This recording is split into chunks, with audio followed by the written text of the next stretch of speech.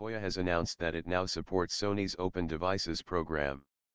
This means that the company will be releasing its Sailfish OS for a range of Sony's Xperia branded devices. The announcement was made by Jolla in a press release wherein the company also revealed that the first project under this partnership is Sailfish OS powered Xperia X, which is being showcased at the ongoing Mobile World Congress, MWC, in Barcelona. The target is to offer the first release to Jolla's customers and community members by the end of Q2-2017, the press release said.